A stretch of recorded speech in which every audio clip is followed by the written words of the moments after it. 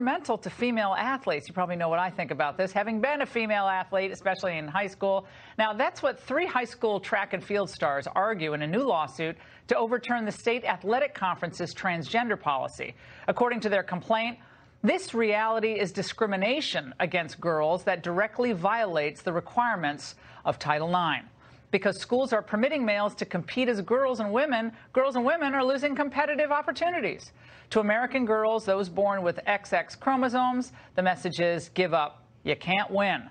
Joining me now exclusively, I'm so happy to see them all. It's like a Connecticut reunion here. The high school track and uh, field stars behind this lawsuit Chelsea Mitchell, Alanna Smith, and Selina Soule and their attorney, Christiana Holcomb. All right, Selina, I'm going to start with you. And it's not just because you're a Glastonbury High School senior where I went to school. What was the final straw that sparked this legal action?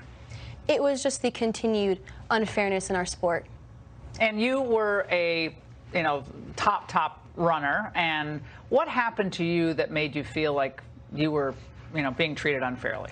I lost out on countless opportunities to get placements, get titles, and qualify for further meets to display my talents to college coaches. Did you actually lose competitions to uh, meets to male athletes, biological males? Every single meet that I've competed against them.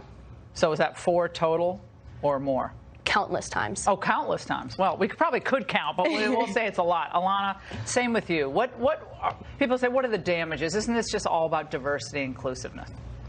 I lost out on getting runner-up at meets like states and regionals, so I took home a bronze medal when I should have been taking home a silver medal. What?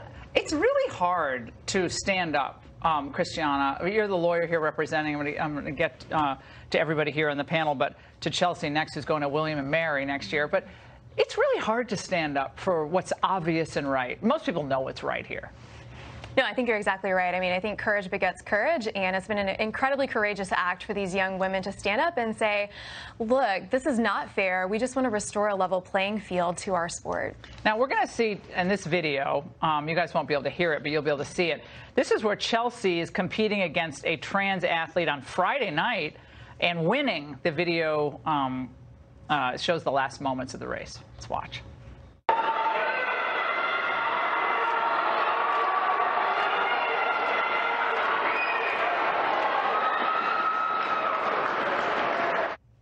Wow. Well, Chelsea, uh, congrats on William and Mary. Thank you. Uh, excellent school.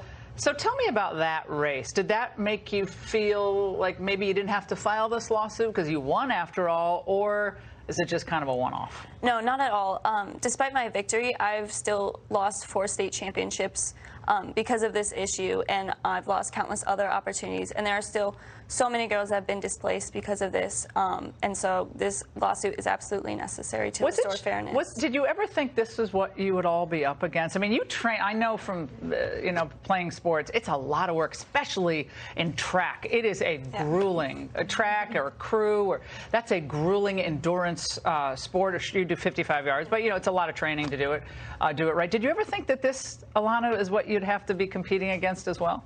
I never thought that I would have to compete against a transgender athlete, and I never thought that my sport would be unfair because we all love to run, and it's just really upsetting what we're going through. We have some of the trans uh, athletes who do compete uh, against uh, you all defending themselves. Let's watch. I love track because of the community within track. I love track because I feel like I'm a part of a second family. It's like another bond that you experience. We're female, so we wouldn't run on any other team but the female team. Are we not human like everybody else? How do you think we feel? We go through this every day. Selina, um, thoughts on that? This isn't about the athletes, it's about the current Connecticut policy, and that it needs to be changed. Well, but they say it is about them. They want to just they, they say we're women and we want to run as women. I mean, that, although I do have to put up the physical advantages. I'm get, get to, reality here because I like to deal in reality. Here are the physical advantages that men have over women. This physical, physical cannot be changed by hormones or anything else. Broader shoulders, larger lung capacity, more skeletal muscle mass, greater bone density in arms, uh, upper body strength is uh, no doubt uh, a lot stronger as well this is just the way it is. I mean, it's like you guys, you guys brought into this to kind of defend yourselves, and I'm thinking this is just again. We talked about this earlier in another topic, nothing to do with you. Just common sense. And do you feel like common sense and, and, and these kinds of things are just out the window?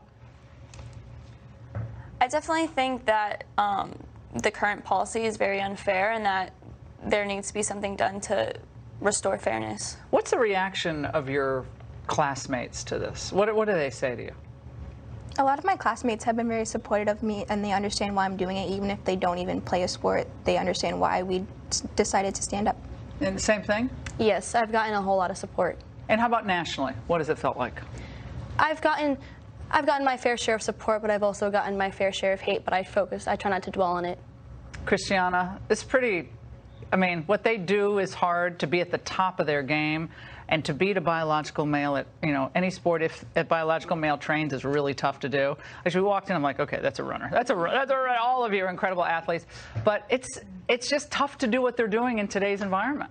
No, it absolutely is. I mean, look, they are high school girls. They should be able to focus on their love of running. They should be able to focus on the, the countless hours they're spending training and not have to be foisted into the, the center of this controversy. So it's really unfair that the adults in the room, that the CIAC, that the public high schools in Connecticut were not willing to address this issue head on and ensure that girls like Chelsea and Alanna and Selina can compete on a fair and level Well, uh, I played basketball, field hockey, and softball, and let me tell you, if this rule was in place, I probably wouldn't have had the athletic career that I had, and I was very fortunate to have that. Glastonbury is a great school, Canton's a great school.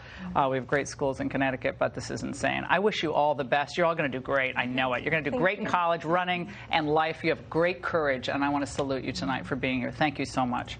And coming